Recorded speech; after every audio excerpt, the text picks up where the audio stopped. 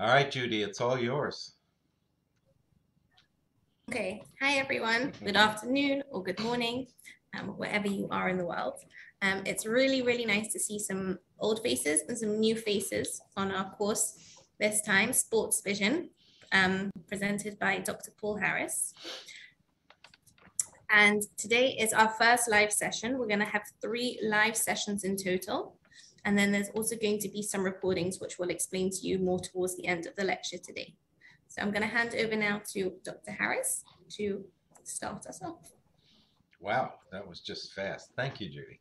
Um, so first I want to say thank you to Hadassah Academic College, uh, to um, everybody there at the school, and there's a wonderful team uh, who's helped to put these courses on. Uh, and uh, if I start with one name, I'll probably miss uh, uh, miss a bunch. But uh, you all know who you are. Um, Liat, I think the biggest smile, and Ariel, your compatriot there. Um, it's absolutely wonderful to support education around the world. Uh, and um, I, I can think of no better place to do it through than Hadassah Academic College. So um, uh, I'll thank thank you, the leaders of the college, for the opportunity to share. Uh, those of you that uh, know and have been with me know that I simply love sharing information uh, and education on what it is we do. Um, Judy, I think at some point, I don't know if you were planning towards the end to give people a tour of Moodle so that they know how to get uh, to their resources. I'm having a little trouble still logging into Moodle uh, as a as one of the professors. We've had to change the password and do these things, and um, I totally get that um, uh, the world needs to keep itself safe against uh, phishing attacks and all kinds of things.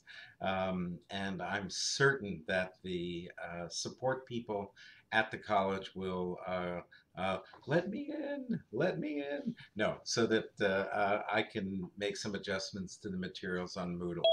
If you've not used Moodle, I will simply say it's an absolutely wonderful piece of software that allows us to put up uh, lots of resources for you uh, in a way that we can um, monitor who's seen what and what things uh, they're using. So I don't know when you want to do that, Judy. Um, um, if, we can do that the last five minutes of today. That's wonderful. Uh, since I have a 10 hour day in clinic immediately after, I will sign off and let you do that uh, towards the end. Um, sure. So we have three sessions that are live. Um, I have recorded all the other sections. Uh, you will be able to watch them on your own. Um, and the um, so today is actually a complete bonus session, um, not in the recorded course, but it's something that is totally new that I put together for a presentation in January. Uh, and it is so relevant to the topic of sports vision. I, I think you're all going to enjoy it. Um, so uh, the handouts for it are not yet on Moodle. Uh, later today, I will get them to Judy and ask her to post them.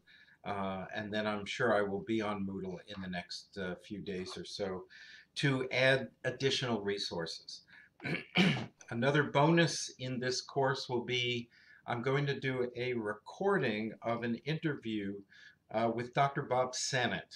Um, Bob has um, um, is is an amazing uh, optometrist. He's done a lot of work with uh, sports vision, um, and uh, I know you'll you'll look forward to that as well.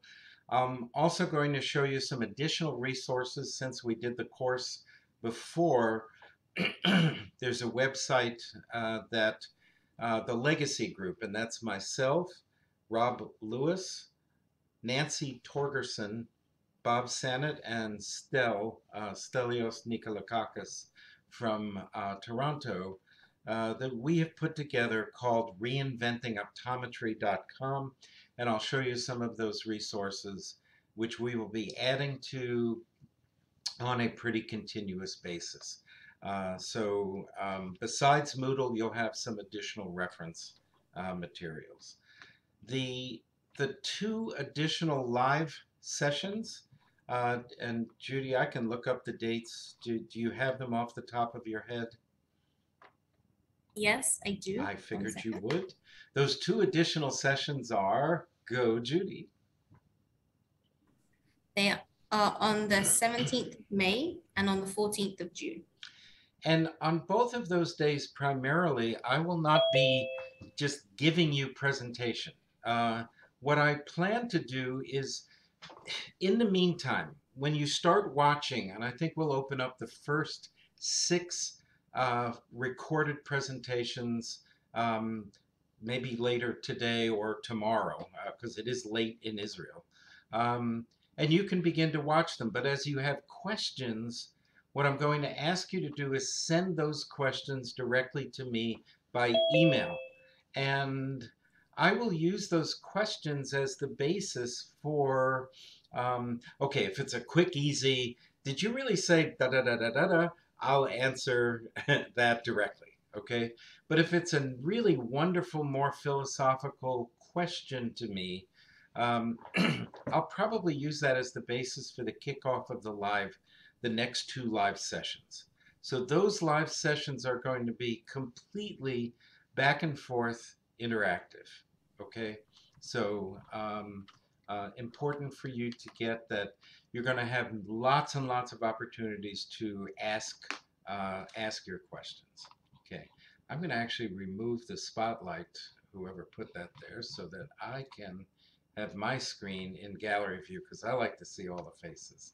Um, maybe we want to let you know if you want to just see me, you can. Uh, I think you all know all the Zoom features now, right? Give me a uh huh. If you want to re, uh, good morning, Anna. I see you now, and Susan, and good. I'm not sure everyone here is familiar, so it's okay to, Okay, in your upper right hand corner, uh, you have a, a, a little thing that says view. Um, if you go up there and you click on that, I currently have the gallery view. So I've got uh, five across and five down. By the way, I have found and discovered there is a way to put up to 49 um, 7 by 7 uh, on the same screen, not just 25. So if anybody wants to know that, that's more advanced stuff. But I like the gallery view. If you choose speaker view up there, um, what you get is whoever is speaking comes large on the screen, and then there's a little ribbon uh, of faces up top. Um, if you go full screen, um, then the participant window, if you've opened that, and the chat screen uh, goes away. Um, but you can, I have a, a two screen setup here, and I always move my chat screens and things to a separate screen. So um, if you want to hear the see the speaker large, you click on speaker view. I prefer gallery view. When I share my screen, um, people go, oh, but I can't see you. And once I do a share screen, um, there'll be a little tiny slider thing in the middle of the screens. And if you slide that right or left, you can change the relative size of the slides versus the speaker. Okay? Um, so, um, and I'm going to tell you right now, I prefer questions to come as they come up with you. Don't just hold them for the end. Okay? And um, once I go into shared mode, it's a little harder for me to see all the faces. So feel free to just simply um, unmute um, yourself and talk, and you'll take over for a little bit uh, and ask your questions. So I really love the questions uh, as we're going because I think it makes more sense that way. Um, so have you figured out the view, how to change that yourself? Give me a nod or a thumbs up. I can see you. Okay, good. All right. Um, let's get into um, uh, the topic of today. And again, as I say, this is a bonus presentation. I checked that the presentation one that I recorded actually starts at slide one and is an introduction to the whole course. and I thought, oh, let's just leave that and give them a bonus right to start. Okay, so um, let me give you some background about the bonus. Then I'm going to share my screen, start up a PowerPoint, and uh, uh, we'll have some fun. So, um, and I'll give you a little background about myself. I, I don't want to duplicate what's in the in the front of the recorded thing, but then maybe you can uh, uh, slide through very quickly. Obviously, you can see I've got some white hair. I've been around a while. Uh, um, I'm third generation in my family uh, in the eye care field. My grandfather was an optician, my father an optometrist, and I grew up in the house where they practiced together. So um, uh, I was always around this uh, and loved it. My father was a teacher at one of the optometry schools, actually, before it was an optometry school um, uh, at the Optometric Center of New York. Did a ton of research. I was his one of their uh, favorite research subjects uh, and had uh, lots of fun um, walking along the path of discovery of how things work. Um, but more from the sit there, we need we need your eyeball in a thing uh, kind of thing. Uh, they let me keep it in my head, so that was good. Um, uh, by the way, is my English, am I going too fast? Are we okay? Give me a, okay, all right. Um, if I need to slow down, you let me know, okay? So give me a, and you can put it in chat, you know, slower, slower, okay, whatever. Um, so uh, I graduated from optometry school. I went to SUNY, the optometry school in New York, in 1979. Uh, and I practiced with my father for the first two years. And then I decided I'd rather he just be my dad, not my business partner. Uh, so I moved to Baltimore and opened my own uh, private practice. It was a referral only um, secondary type of care practice specializing in vision therapy. And uh, I had that practice for about 30 years. I'm now in my 11th year at Southern College of Optometry in Memphis, Tennessee. And uh, uh, loving it, being with students, doing research, uh, and uh, that kind of thing. In terms of sports, I actually probably started my first interaction with athletes as a third year optometry school student. Uh, I went with a group of optometrists from the American Optometric Association to the National Sports Festival um, in the United States in the years between the Olympic competitions in the middle. Um, so if you're a, a summer um, sport every four years, in the middle, shifted every four years. There's a national competition uh, that's nationwide so that our athletes have the opportunity to continue to compete at that high level. Uh, but it's an it's a nationwide uh, type of thing. So I got to go to one of those, and over a four-day period, we tested over 800 athletes, uh, and I got to work a station with just an absolute master who I learned a lot from at that time, Dr. Arnie Sherman, um, who uh, faculty was faculty when I was there at SUNY. Uh, he worked with the uh, New York Islanders, their uh, hockey team. Uh, I know Vince will know them. Uh, there was a period they won four Stanley Cups in a row, and Arnie was uh, heavily involved with uh, vision therapy with um, uh, many members of the team.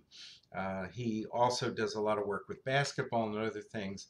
And it was wonderful to work a station with him um, and, and gain his insights into how we could use something as simple as a Brock string to figure out what a player was going to do in terms of being early, being late, how they judge space or misjudged space, and that the basis of some of their mistakes or errors in sport um, was not because they gave the wrong commands to their body, but was because their visual process was not seeing space accurately.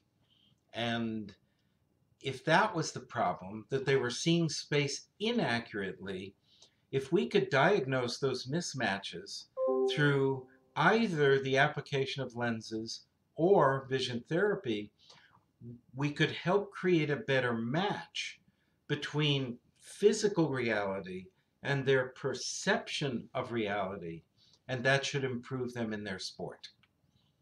And conversely, those where we found a better match between where the physical objects are in space and where their perception says the object is, were better performers. So it wasn't so much that they were faster or stronger, or I mean, it helps to get to a high level of strength, to a high level of flexibility, to a high level of speed, to get the body into as good a shape as possible.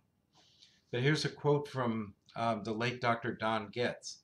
The difference between the average athlete and the superstar is the difference in their visual abilities.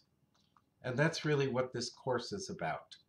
So with that, I'm going to I think we'll slide into the into the bonus. Any, if you have questions, again, you can raise your hand, unmute. Um, you can also type in chat. I will have that window open. Uh, so if you're like, oh, I'm not sure if my English is good enough. First of all, your English is way better than either my uh, Hebrew or my Arabic or my uh, um, or my Greek. uh, good morning, Anna, uh, or good afternoon to you, Anna. Uh, so um, uh, please feel free to use the chat. Once I set the screens up, I will have it. So, introduction now to this extra little piece I think you'll find very interesting. Um, I went to the International Sports Vision Association and um, uh, I will once we're once I'm into Moodle, I'll give you resources for ISVA, International Sports Vision Association. It's a wonderful organization, uh, um, and at one of the years I presented and Bob Sennett presented, there's this fellow who gave a presentation, and it was it was okay there. Um, he's a PhD uh, from Arizona State University. But what happened was, no, I don't have my screen on yet, Judy. Uh, it's just me. Okay, I'll share soon. um, I. Those of you who don't know the United States schools, uh, there are certain schools that are known for leadership in vision therapy, and there are some that aren't. So this particular one wasn't, but I saw this man's name and he was giving a presentation specifically about baseball. And um, uh, you may not know, I, will just say right now, I'm, I'm currently the uh, team optometrist for one of the uh, baseball teams in the United States, the uh, Baltimore Orioles. Uh, I, can, i was going to wear stuff, but I've got to run immediately to clinic and didn't want to do a, a quick Superman change uh, between.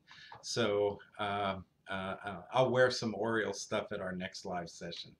Um, so I thought, oh, I want to listen to this guy, but it was being given by the Ohio State University. And, and I'm sure you've all done these online courses uh, not this one. And Susan and Carmen, please turn your, your videos on. It, I find it really helpful. Thank you. Um, oh, you're eating. It's okay. It's uh, uh, here. I'll have a I'll have a sip of coffee. How's that? Of course, you all don't want me on too much coffee, so that's good. Um, so I thought, oh, I'm not sure I'm going to get much out of this. I love working jigsaw puzzles. I set my laptop up so I could work on jigsaw puzzles, and I started listening to this man. And within five minutes, I was completely entranced. I watched the rest of it. I didn't put a single piece in the puzzle.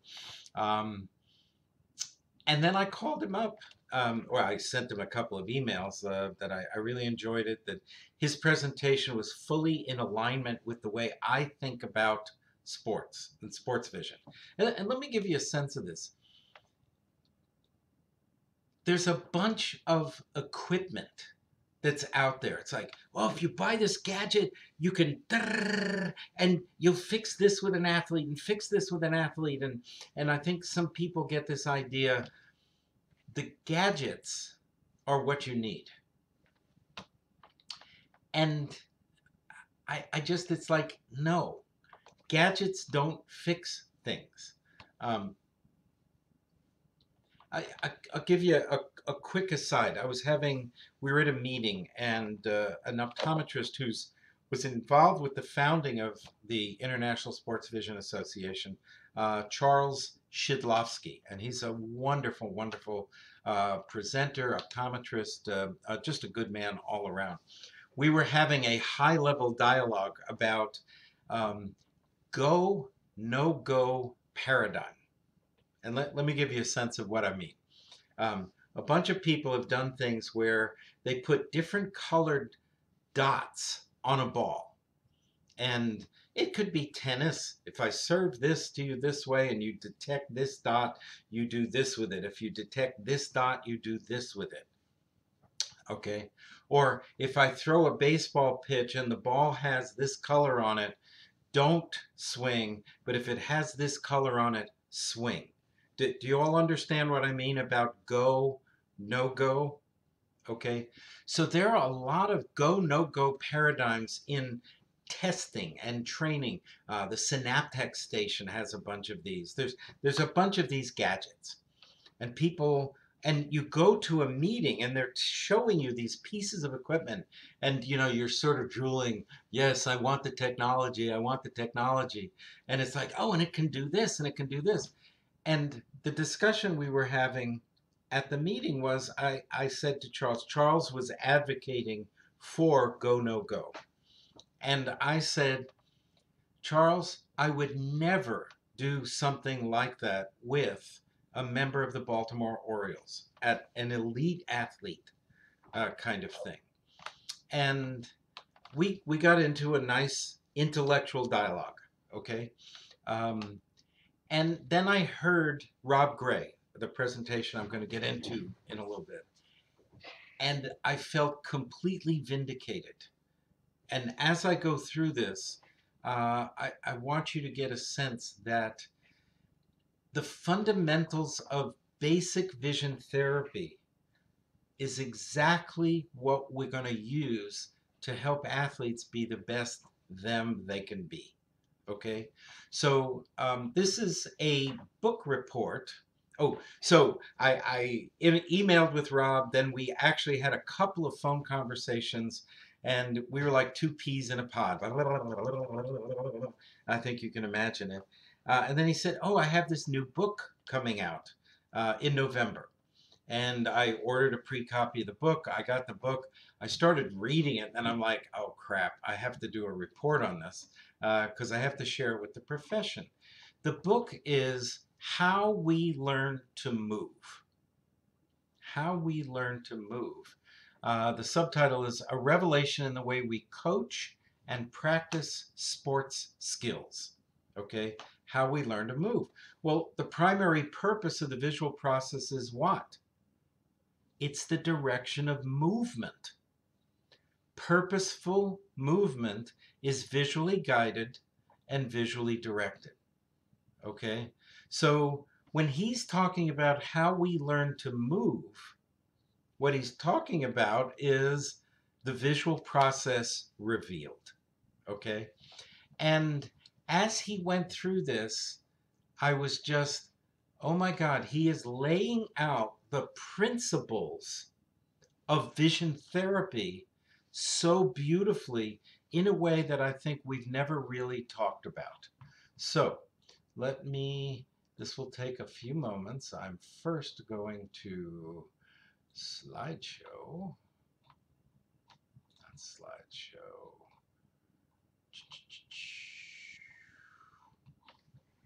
Let's do F5. No, you didn't take that that way. Slideshow. Boom. View transitions design. What are we doing? Use presenter view. from the beginning. Find you guys. Now we're gonna do screen share. Oh, I need to move you first. Sorry, so many steps at the transition point. Now, screen share, optimize for video, share sound, screen one, go. Good.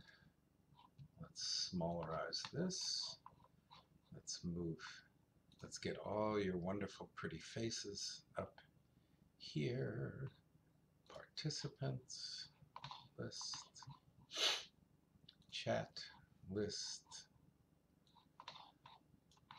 And let's get your faces up. More. Show video panel. There we go. All right, are you all seeing my uh, uh, the screen that says how we learn to move? Good. Thank you, Vince. All right. Good, good, good.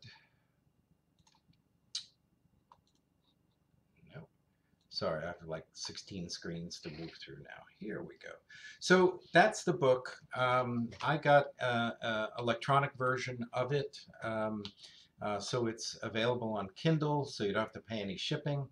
Uh, and um, uh, what's wonderful is he has set up as well uh, um, a website that as you go through, there are not a million, there are many, many videos that show exactly what he's talking about. But he also has, if you notice down here, a podcast. You can actually go there and listen to him uh, talk about a number of these things. Uh, and I think that's that's absolutely wonderful. All right, I, and just know I do have the chat screen open on my alternate screen so I can see uh, exactly what's going on there. Let's do this. There we go. Now I have multiple happy faces too that I can see. Good. All right. So um, uh, let's get into it. So he starts right out with talking about the myth of there being one right way to um, to do things. You you you think if you're a coach, there must be a right way to hit a ball or to score a goal or to do things. And here's famous people talking about that. John Wooden, uh, if you don't know, was a basketball coach at um, uh, UCLA, uh, University in the United States, won many, many um, um, uh, national titles. He's a college coach. And he cleverly said, the eight laws of learning are explanation, demonstration, imitation, and then repetition, repetition, repetition, repetition. Meaning just do it over and over and over again. Tony Robbins, a um, um, I don't know what you'd call him, a business uh, um, inspirational speaker, that kind of thing, said repetition is the mother of skill, meaning do it again and again and again. Zig Ziglar, similar type of profession. Repetition is the father of action. So we got both the mother and the father there. Must be uh, everything. Um, Daniel Coyle from his book, The Talent Code, says there's no substitute for attentive repetition. I like the fact that he added the word attentive there. But what you're going to see is starting from the very next slide, we're going to tear this down. I think people think you just need to repeat things over and over and over again, and eventually you'll get good at it. You know, if only you would do all your repetitions with your monocular accommodative rock, just do it. It doesn't matter. You don't have to. And it's like, that's not how we learn. Um, and and uh, Vince and Anna, people who've had uh, courses with me before, I think you get that to me, the difference between visual training versus vision therapy, that's part of what's embodied in that difference, right? Therapy is that one and one one to one ratio, being involved and giving immediate feedback about things.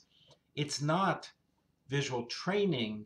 Um, do you know what you're supposed to do today? Go off in the corner, do that 50 times. When you're done, come back. I'll give you the next assignment. So I don't do training. What I've always taught is therapy. And I, I hope you get the difference there. Vince, give me a. All right. And Anna, you're not on my screen right now. That's okay. All right. So this goes way back. Nikolai Bernstein uh, and the hammer. Okay. Now, what he was doing with this, uh, and I think you can see how far back this goes. The, so here's here's um, uh, can you? Oh, I know I can use the laser pointer. Laser pointer. Good. Do you all see the red dot?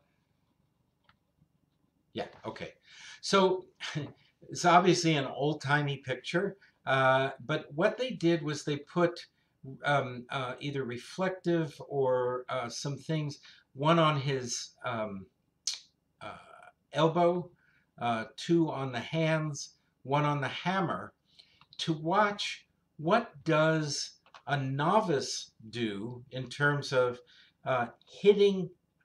so I don't know if he's doing leather or chiseling, but he's using this hammer to whack at the end of um, a thing he's holding. Okay?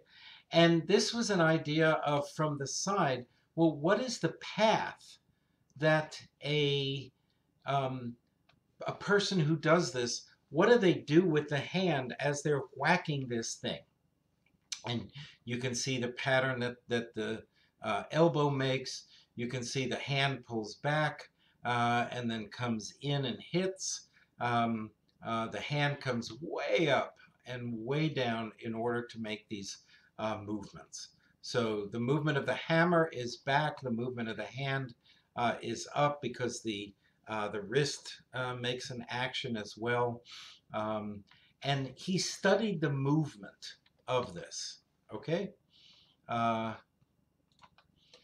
and what he found is we get this repetition, meaning we get to the end point, but the expert actually doesn't do exactly the same thing over and over and over again. They do variations, but the end result, when the hammer hits, it's hitting in exactly the right place. So we repeat an action outcome, but not by repeating the movement that produced it. So think of in sport, uh, whatever sport you want to think of. And if you want to give me a suggestion of a sport, I, I typically will use um, um, uh, soccer, baseball, tennis. Uh, I've worked with people in many, many different sports. Um, we know that coaches tend to work with uh, a movement. Um, here's the right way to hit a ball. Here's the right way to throw. Um, and what you're going to see here, and, and I think in vision therapy, it's the same way. There's a correct way to do X or Y. Gee, you didn't move your eyes the right way. Um, so we need to teach you the right way to move your eyes. I, I think you get the idea. That's not what this is about. He says, we don't repeat our movements, but they are also not completely random and variable either. They're shaped by the constraints of our environment, including our culture. What does he mean by shaped by the constraints? If you look at this, a wrist can only do certain things, and an elbow can only do certain things. Those movement patterns can't be very different um, um, because elbows and wrists only move in certain ways. Okay? So the key to becoming skillful was not strict repetition. Instead, it was repetition without repetition. Learning to produce the same outcome by using different movements. And you're going to see this theme coming back over and over again. And I, again, as I read the book, I was constantly thinking, how does this apply to doing vision therapy? So, in the book, he talks about context conditioned variability. Skillful movers in the same disciplines do not all coordinate their movements in the same way. If you look at two people that shoot a basketball or two people that um, um, uh, score uh, in ice hockey or uh, kick a ball, um, they're very different. And I, I, I, think many of you can recognize, oh, just from the back, uh, the movement, that's Ronaldo, or that's uh, this person, or that's this person. Um, uh, I know sometimes you can see them walking down a hall. You can't, and the, they're walking away from you, but you recognize that's how this person walks. And I think that's some of what uh, he's talking about here. He said there's significant inter-movement variability between performers.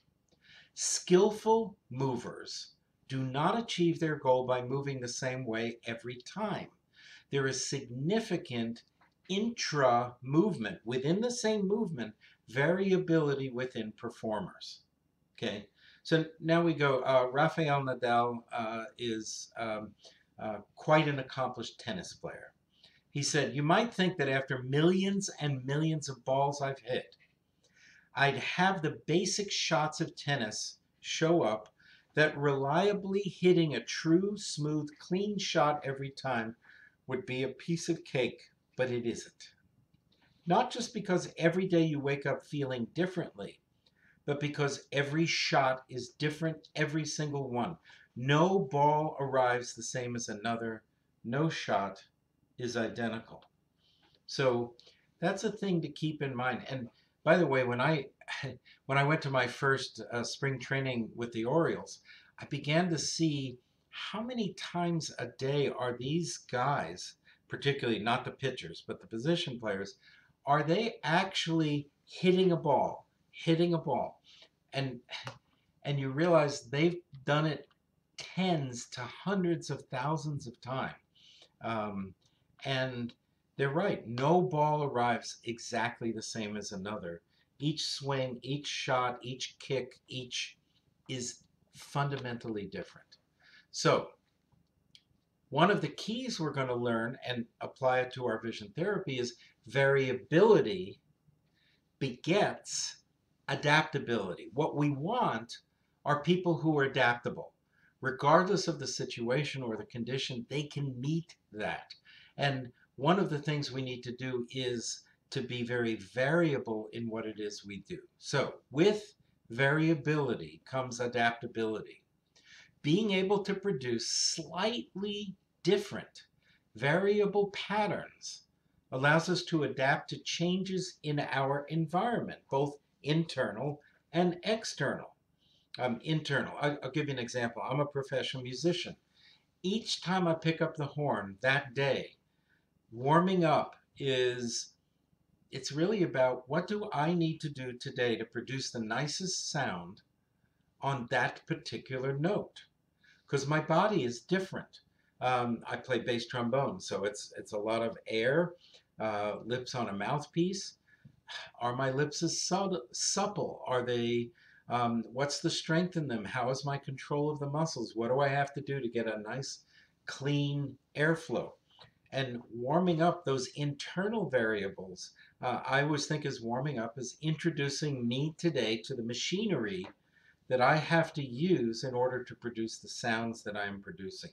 It's the same thing for an athlete as they warm up. Uh, they do their stretching. They figure out how is my body taking the commands I'm giving it today. So I just want you to understand what he means by internal. And then external, there's all these other things that are going on. If the problems of movement are always changing, even for one of the greatest tennis players in history, then we need to have multiple solutions, multiple ways to approach doing different things. Um, you think about it as using a ret- retinoscope or an ophthalmoscope in different kind of situations. And um, I, I, take residents to, uh, we go to four different rehab hospitals, and um, you can't always get in the optimal position Um, uh, patient's just not going to let you. Um, can you still use the tools of your trade in situations that are non optimal um, and still gain your clinical insights? So, this adaptability through having multiple variable solutions to achieve the same goal is a fundamental feature found throughout nature. And it had a term, I didn't know it until I read his book biological degeneracy. Okay, biological degeneracy. Degeneracy occurs in a system when components that are structurally dissimilar can perform similar functions. Then they become interchangeable. Um, hard to come up with a direct example right away, but uh, the um, I remember when uh, the famous brain scientist Karl Pribram was talking about, well, where do you think in the brain how to write the letter A exists? And can you only do it with your right hand? Well, you can do it with the left hand. You can do it with your foot. You can draw an A in the in the sand. Uh, you could probably, if you put a marker in your mouth, you could probably draw an A. Um, and it turns out um, his concept was the holographic mind, that actually the motor patterns of how to how to make an A are actually stored everywhere. So similar functions with different parts, but they're interchangeable because it's the outcome you want. Okay, so if you if you do something the same way over and over and over again, exactly the same, you're you're open to um, wear and tear and abuse and injury. If you do things in a variable way, that's beneficial. It's a design feature and allows us to adapt, keep achieving our goals, but it seems to prevent us from getting hurt. This breakdown will occur when there's not enough variability in movement to allow for adaptation. So change up what we're doing, and that allows for um, us to stay safe. So traditional sports training. Um, and I, am not going to spend a whole bunch of time with this. I'll get you the um, uh, this um, handout, and you can work through it. But if you notice, there's things here where he's You've got the Dynavision, the NeuroTracker, the Senaptec Station, Visual Edge Trainer. These are all things in um, that are out there. Uh, fit lights, uh, dribbling cones, these kinds of things, um, and you're essentially going to see that a lot of people that say, "Well, I want to get into sports vision," well, you need to buy this and this and this and this, and it's like, uh, we don't need a lot of these gadgets. Okay, so hopefully I'm starting out basically saying if you thought to get into sports vision you have to spend a lot, a lot, a lot, a lot of money, the answer is no. Okay, you could spend money. Having some gadgets is nice, it makes it more fun, but it's not owning gadgets that makes you a sports vision person. Okay, so I hope some of you are relieved. Yes, relief? Ah, okay, let's move on. So, self Organization is the key. Order and structure arises from the interactions between lower level components of the system, which results in this perception action coupling. Our actions are directly controlled by what we perceive. I, I love it. Actions are directly controlled by what we perceive. So I'm, I'm down with the Orioles just a couple of weeks ago, and uh, one of my first interactions with the new batting coach for the major league team, he said, um, "Oh, I'm so glad to meet you. I know how you're going to be able to help us. What I want is I want our players to make better decisions." And I looked at him, and I knew I didn't know him well enough, but I figured, okay, I'm going to do this one, and and I knew he might take it as an exact punch in the face. Okay, but here's what I said. I said, "No, you don't." And he's like, "What do you mean?" He's like, You don't want them making decisions at all. What you want are actions that are controlled by what they perceive, but you don't want a decision because if they're consciously thinking about what's going on, the action is over before they ever have come to a decision. You want them based on recognizing patterns from prior experience to simply be in the moment and act according to the what the environment and that could be a moving ball within a context is giving them the chance to do. So as soon as i said it he said you're exactly right. I don't want them making better decisions i want them performing better and based on perceiving more so uh, we move past that very quickly. So self-organizing systems are much more robust and resistant to errors made in any one part of the system. Uh, I have, and I'll show you um, on the Reinventing Optometry site, I have a paper, um, Wet Mind uh, was a book I probably read in the 90s uh, and did a report on it. It's, uh, it's about a cognitive neuroscience uh, and it was my first introduction to neural networks and really how the human uh, neurological system works. And there was a lot of talk about self-organizing systems. And the basic idea is if you have a neural network system, which we have in the retina, which we have in our brain, we have, our brain has uh, a series of three layer networks, but the brain is actually six layers you have two three layer networks that are intertwined. Um, and I don't want to get into the whole thing, but it, it turns out if you have one of these self-organizing systems, you can actually have up to between 70 and 80% cell death. And the system will still give you the right answer, it just slows down. So this is what we see in stroke, this is what we see in concussion, uh, and these types of things. Um, so uh, the brain or self, uh, the brain itself is a self-organizing system, and if we have multiple ways to approach doing the different things we do, we become more resistant to um, uh, errors and to damage in the system itself. So, Karl Newell talked about this constraints model of coordination. So first, a constraint is something that eliminates certain possibilities or options for action. Please, the whole time I'm reading this, and we're talking about this in the context of sport, think, think. He's talking about vision therapy too. Everything here relates to every procedure and activity that we can do in vision therapy. So a constraint is something that eliminates certain possibilities or options for actions.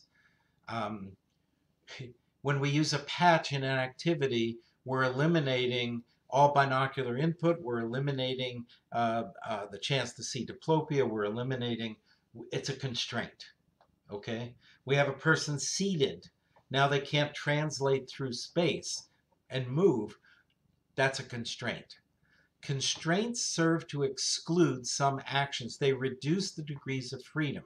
So there's three types of constraints in the individual, their height, weight, strength, speed, flexibility, environment. Uh, we're not changing gravity, but wind, temperature, light levels, slipperiness of the surface.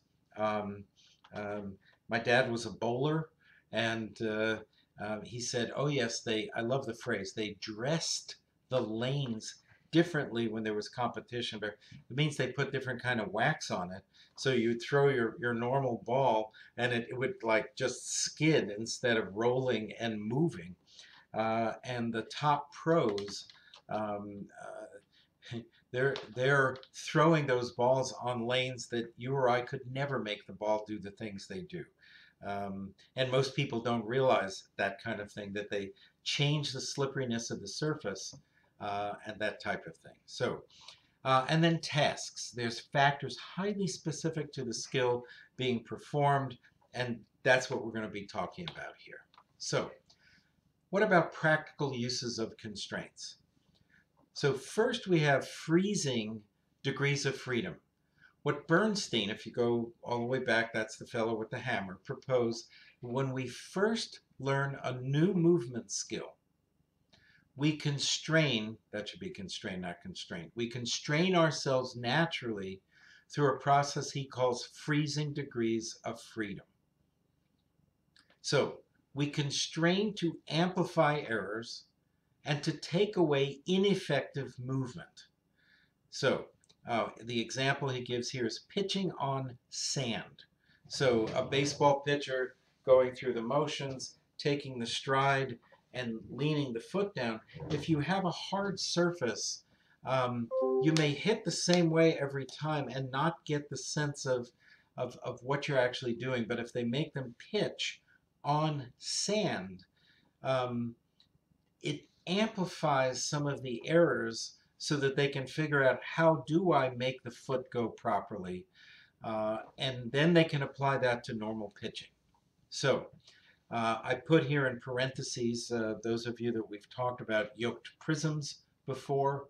The Kraskin approach to prescribing yoked prisms, uh, the reference for that if you're, if you have, it, this is coming from left field for you, uh, that funny baseball phrase, left field, um, is Lens Power in Action uh, as a book, um, but the use of yoked prisms.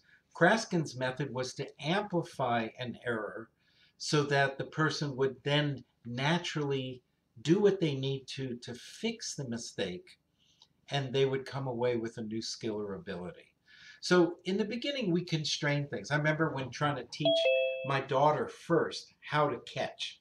And it was like she wanted to learn, uh, you know, baseball, uh, softball, uh, that kind of thing. And it's like, if I just throw this thing at her and she's never done this, we're going to get hit in the head, we're going to get hit in the body, it's going to hurt, and we're finished. So how do I work this? Um, and I started very simply with Anna, that's uh, my daughter who wanted to learn. Anna, hold your glove, there's a glove hand and a throwing hand. Just hold it like that. We're going to practice up downers, right?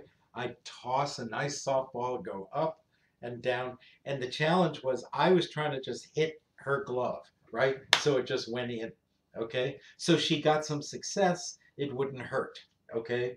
And we got pretty good at up downers where I was first doing this, right? Very constrained. All you have to do is hold the thing there. And then I intentionally started to move it around. So she had to make a movement with it. And then I made it so that she'd have to take a step or lean and then come in or come out. And eventually we got pretty good that I could do up downers that were higher. Eventually up downers where we caught over our head. But then there was still the the um, the transition to I'm going to actually throw it at her, and she's got to catch it this way. And we called those zingers. Okay, Anna, here comes a zinger. And it was don't hold this near your face, hold it out over here. And the challenge for me was to hit her glove. Okay, same thing again. And to get the timing for her of as the ball's coming, when to close it. By the way, we know that for almost any speed ball, the the optimal closing time, there's only a 50 millisecond time. If you come too early, the ball bounces off. If you go too late, it bounces off and you don't get it. It's within 50 milliseconds to close on that ball when it gets there. And it doesn't matter how fast the ball is going, it's the same 50 milliseconds. Um, so we transition to zingers. Um, do you begin to understand how I constrain things? in that sequence? Feedback, please. Nod your head. Okay, I got one thumb. There we go. Wonderful smile. Is that push pushpita? Is that how you say it? Okay, very nice. So practical uses. We, why do we do this constraint? We do it to create variability and essential noise. I think sometimes we always think of noise as something that's bad and something we have to get rid of. Um, but constraint is important. We want to be adaptable and flexible so that we can use different movement solutions to achieve our goal in the face of ever-changing conditions. Okay, and we think about that. Um, uh, we're working accommodative rock and this kind of thing. People don't only do it with that kind of target, with that kind of lens, with that. They have to do it under different life situations. Bernstein said dexterity is the ability to find a motor solution for any external situation. That is, to adequately solve any emerging motor problem. If the primary purpose of the visual process is to direct movements, then in this instance, what we're talking about is not just the dexterity of the hands and the arms and the body, it's actually the visual system that's directing things. Moving skillfully involves coming up with new solutions to new problems, not just repeating the same old solution. And I, I hope you're hearing what Nadal is talking about here. No ball that comes to him is ever exactly the same. Speed, velocity, rotation, movement, where it bounced, uh, the relative position of the player on the other side. Nothing is exactly the same. So how do we learn to solve problems? We do it by practicing a lot of different ones. In other words, by having variability in our practice situations. So he did a thing with virtual reality training um, uh, in batting. So I think you understand they had a virtual reality setup and they could vary things. They would vary speed, how fast it went, the pitch type, straight, curveball, etc., and location. And in in the VR stuff, they could see if the person made the swing was that did they make contact, etc. And they'd start with 85 mile an hour pitches, two in a row.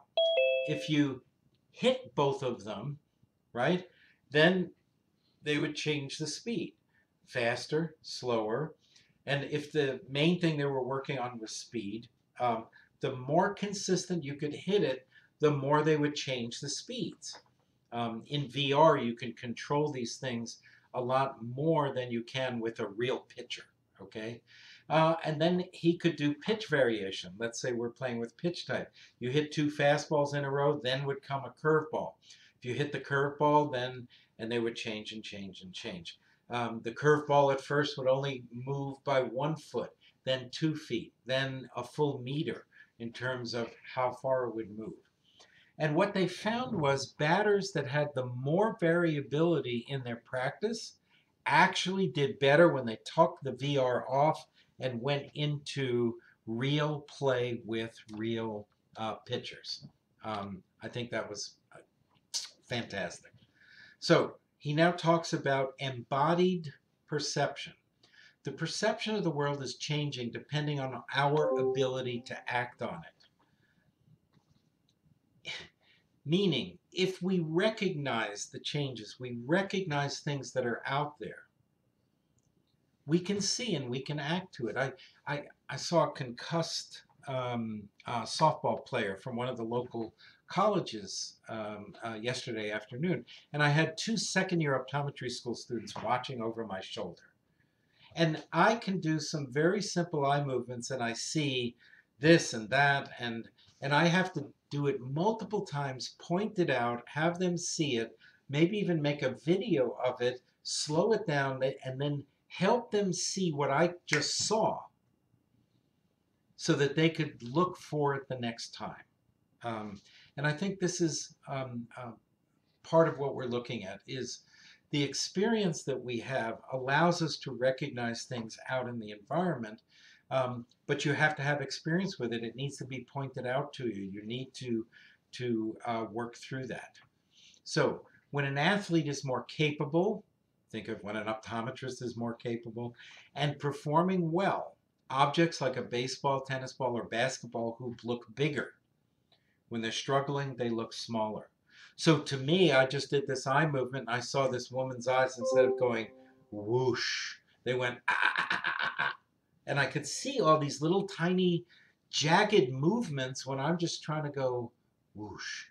And that said to me, yep, she has not recovered from her um, taking a foul ball to the head, um, even though it happened several months ago and I could demonstrate it to the students. Better yet, her coach and the head athletic trainer were with me, I could demonstrate it to them, uh, and they could see what I was seeing, and I and that becomes uh, critical in this. So this embodied perception approach to perception argues that what we perceive is not a true representation of what is out there, but it reflects our ability to act on objects in our environment. So as we become better diagnosticians, there are more things our patients do that we can recognize that give us insight into what's happening in their own visual process. Okay? Now, now I, I hope you begin to get why I thought, oh my gosh, this guy's this guy's approach to sports is so in alignment with what we do uh, in the vision field. So Gibson, um, when I went to optometry school, my perception textbook was by Gibson and Gibson. They were a husband and wife.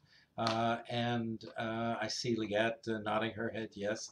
Uh, it's the foundation of so much of what we do. Uh, and he talked about affordances. Now, I've seen this come up uh, in many different ways. What's an affordance?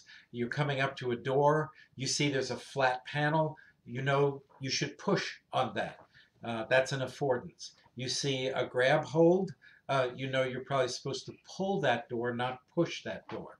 Okay, so um, another affordance in design, a door. If they show the hinge, you can see the hinge on your side, you know you pull it this way.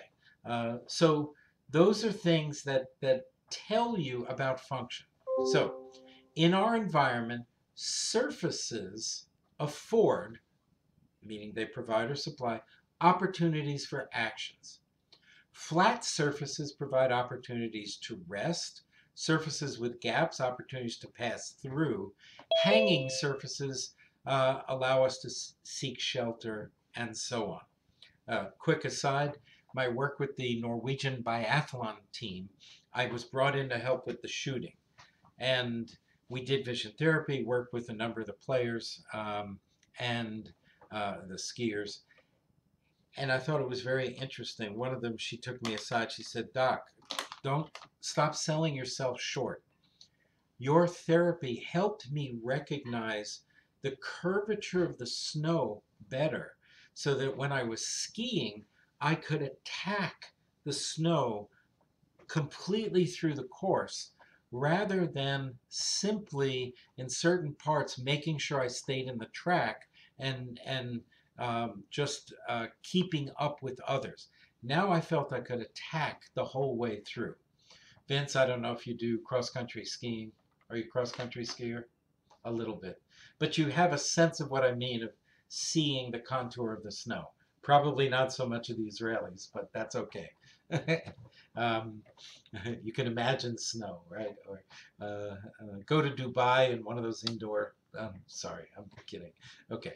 Um, so perceiving affordances is to carve the world up into meaningful units of action rather than using meaningless units of physics um, knowing the equation doesn't really help you.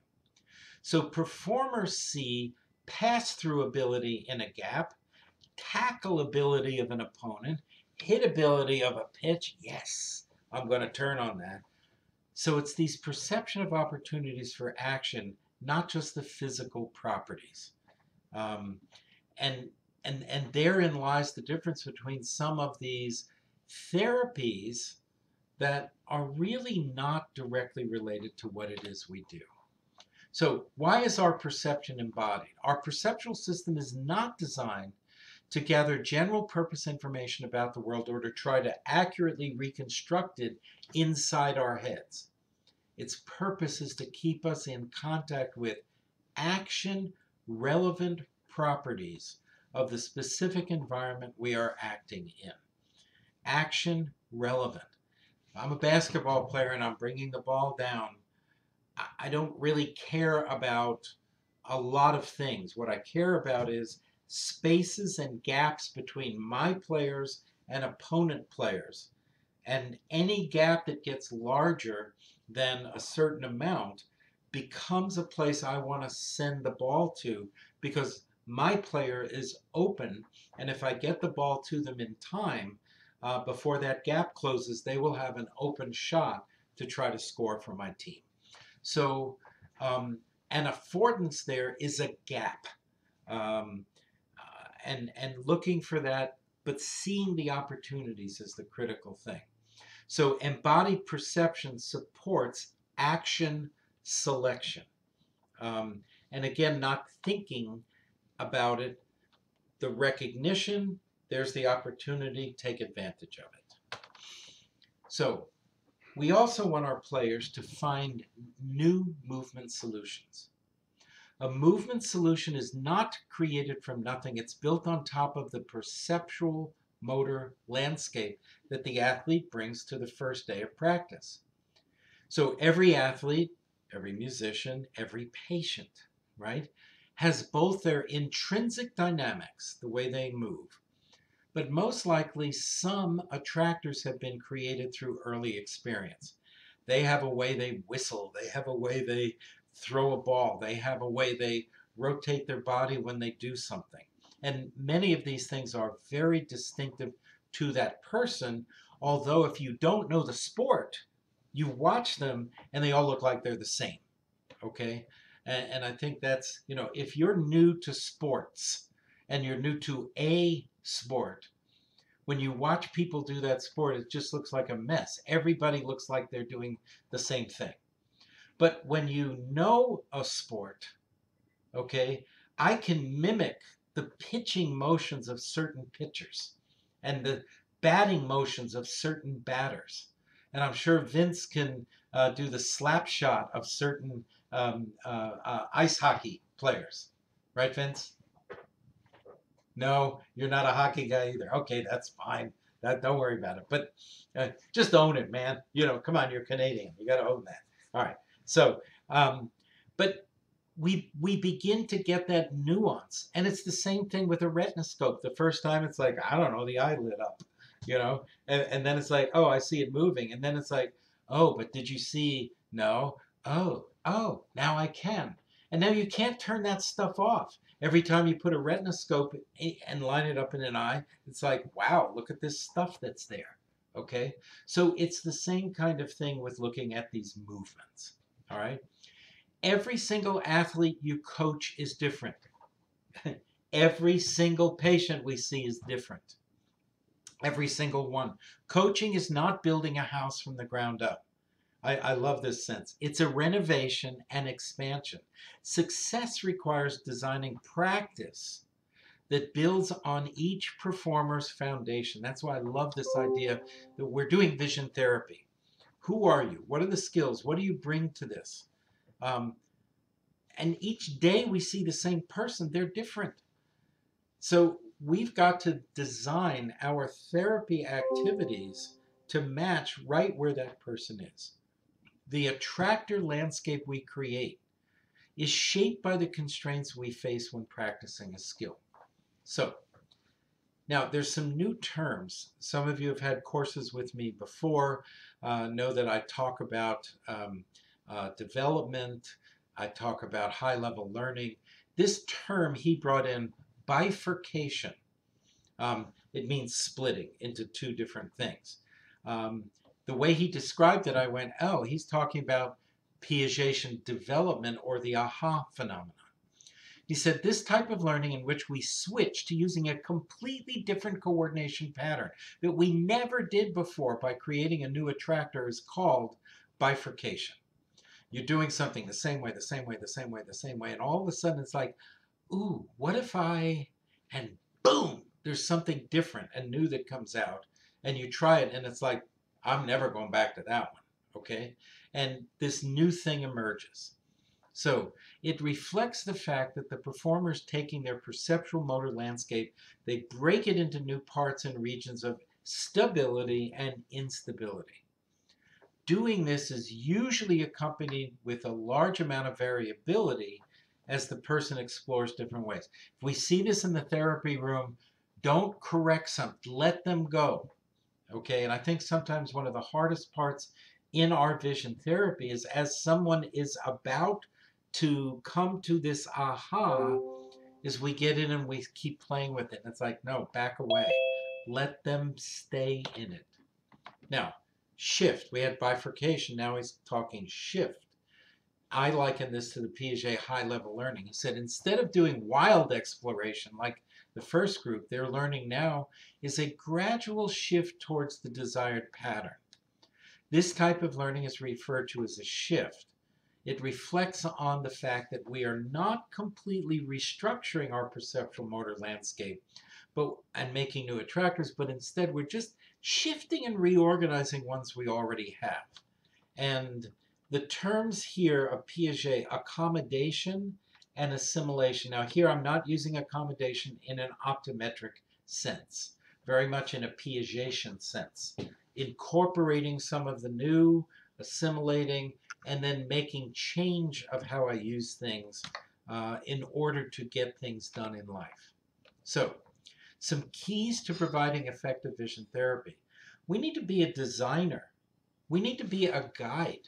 Um, so an effective coach, an effective vision therapist, should attempt to design practice environments that foster exploration and promote self-organization rather than prescribing a solution to an athlete.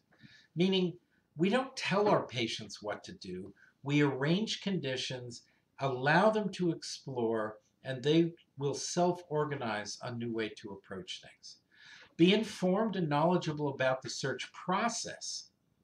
They should also be observing practice, we should be observing practice, to see if the athletes are not taking the opportunities for actions, okay? Um, and I think that's part of the role of us in the therapy room when we're therapists.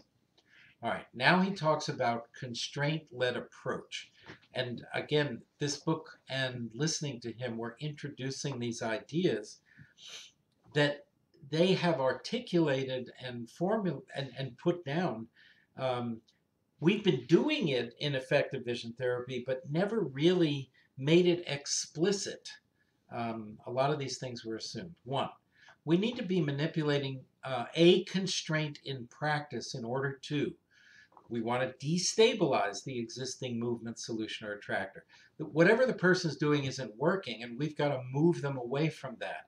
So a constraint may make it impossible for them to continue doing the thing that didn't work or wasn't working. We then want to encourage exploration and self-organization. We want to amplify information and invite affordances, invite affordances. Help shift their attention to something that might help them make better decisions. Um, that type of thing. Provide transition feedback about the effectiveness of the search. Uh, amplify information. Let me give you a, a, quick one. Basketball, learning on defense. Somebody told the player, you need to watch their eyes. Watch their eyes. That's going to tell you what's going on. And, and they're just locked in on their eyes and they keep getting faked out, moved around, uh, ball through their legs, this kind of thing. And it's like, okay, let's shift that. Don't look at their eyes. Try looking at different parts of their body and maybe they will discover that looking at the torso actually is better when defending a player in basketball. Okay? Um, rather than me saying, well, where you should be looking is, because maybe they won't figure that out. Okay? I, I hope you understand what I mean. Don't give them the answer, but but by restricting something, don't look at their eyes um, explore, look at different parts of the body while you're defending, and then set up practice drills. Um, they may figure out, wow, I'm not letting them past me more if I watch their torso. Bingo. Okay? Oh, and if I look soft, not with an intensity like I was when I was looking at their eyes, I'm even a better defender. Bingo. Okay? uh, Bingo, if you don't know, I use meaning you've scored. It's good, okay? So CLA, constraint-led approach, is trying to achieve, achieve adding structured variability to our practice. We want to allow the performer to explore and try different things, but we're pushing them to certain areas within the perceptual motor landscape that we've identified as being key for an effective movement solution. So, a key is um, uh, where should you be looking when you're defending? Yesterday, uh, when I had the um, um, concussed softball player, now her coach was there. Uh, turns out she said, "Oh yeah, I played for the Italian national team," and and da da da da da. So it's like, okay, you know the game, because I know baseball. I know where we have our baseball players look just before, uh, look on the pitcher before the pitch comes in, and where I want them to look at the moment of release. And but softball is is an under kind of thing, uh, underhand pitch. And I was like, well, where do you have them look? And uh, we went through the whole thing and we talked about some of these differences. Uh, and it was it was very interesting. Um, uh, some of the differences between where where they're taught in softball versus in baseball, um, where to look and what they're doing. Okay, so um, what do you have to do to find this effective movement solution? Whether it's keeping the kinetic chain intact when pitching or using a low to high stroke trajectory in tennis. Instead of tennis just coming straight across, it's coming up through the ball to get appropriate spins and this type of thing. So um, when you either get the book or you go to that website, uh, and again, I'll get this to Judy uh, later, um, uh, you'll be able to go through this in more detail. I don't want to spend too much time with the graphic image. Um, so differential learning, I'm just looking at our time. We're supposed to stop, Judy, soon? Yes, we have 10 more minutes. Okay, and you want five or so at the end, so I think I'll do I think I'll do one or two more slides, and then from this point on, I will record for everybody uh, the end. I didn't know how, how long this take. I rushed it when I was uh, doing it in January, but I like this version much better. Um, of course I do, because I'm adding all this other fun stuff. We're only halfway through this, so I will record probably this weekend the rest of this. And once I get my access to Moodle, I'll put this up for you as well, so you can finish this uh, this um, um, uh, presentation. So differential learning. Differential learning has goals, again, of destabilizing the performer's existing movement solutions. Why would we want to do that? Well, we want to promote exploration of the perceptual motor landscape, self-organization, and to create variability in movement execution. How do we do that? We add random variability to the practice environment we perturb. I don't know if you know that as an English word. We we mess with things. We we change things up. Um, we then allow the performer to gain information about the solution space that they could use in future performances. And I think the example of the person who was told, look at the eyes, look at the head, um, and um, experienced and high level people in the sport of basketball know that's not what you want to have the person do. I'll give you another example out of baseball. We tell young kids, keep your eye on the ball. Follow the ball all the way in. Um, that's good for maybe the first year or first two years of uh, when you're nine, ten years old, learning how to follow in and hit something. But baseball and softball, the good players, they do not do that. They only follow the ball for maybe the first two meters of travel, and then they jump their eyes to where the ball they predict it will be, watch it come in, and so when does it when does a child begin to learn? Uh, stop listening to the dads in the stands and the moms in the stands yelling, "Keep your eye on the ball! Keep your eye on the ball, kid!" Um, to learn that you actually shouldn't do that. I, I hope you get that that there's different ways to do things. And if a person gets stuck in a in a less developmentally mature, maybe that's the better way to say it, they get stuck in that way of doing it, that they will never let go and really become a master of his or her skill ability in this thing. Okay? So you want to create then also the optimal level of noise for the person so that they acquire those skills. So um, here's a um, again a website, hisperceptionaction.com. Uh, that's where a lot of this will be. Uh, wonderful, wonderful demonstrations. Uh, I'm going to stop the share. Stop share. Okay, and come back to you guys here. And I think I will turn it over to Judy. I was watching, no questions. I know I was going and rolling and having fun. I hope you enjoyed uh, this first uh, portion, got a chance to get a sense of how I'm interweaving my understanding of human performance, what we do as um, optometrists and vision therapists, um, the, the wonderful intermeshing of sport to me is the visual system being displayed in all the, the wonders of what it can do uh, as we work through various sports. So I'm going to turn this back over to Judy. I'm going to jump off because I get a nice 10 hour day now in uh, the clinic.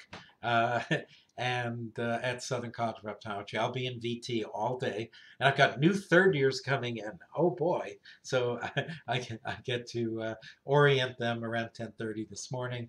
Um, lovely to see all your faces, to be with you. Um, uh, you will get my email address. Questions from this, questions from any of the things you're looking at, please uh, send them to me, and I look forward. May 17, you said, right? Judy, 17 May. May is- 17th, yes. Yes, is our next uh, live session. So, Thank you, Paul. Everybody stay on for a couple of minutes. Judy will go through the website with you. Thank you so much, Dr. Harris. you're welcome.